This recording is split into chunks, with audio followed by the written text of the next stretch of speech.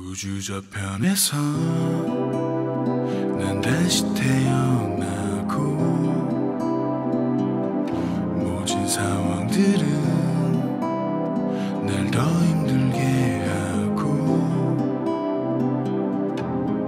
희망 앞에 사라져